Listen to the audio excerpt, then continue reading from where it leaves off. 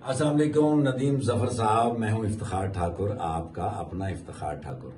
और नबील भाई, बुलबुले के 500 एपिसोड मुकम्मल होने पर मैं आपको मुबारकबाद पेश करता हूँ। उससे नबील भाई, आपको, आपकी पूरी कास्ट को और आपकी टेक्नीशियन टीम को बहुत बहुत मुबारकबाद 500 एपिसोड, क्रिकेट धाम।